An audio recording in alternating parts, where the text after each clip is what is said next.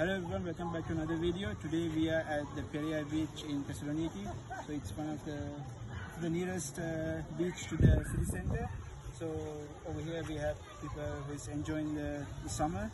And let's check out the other areas.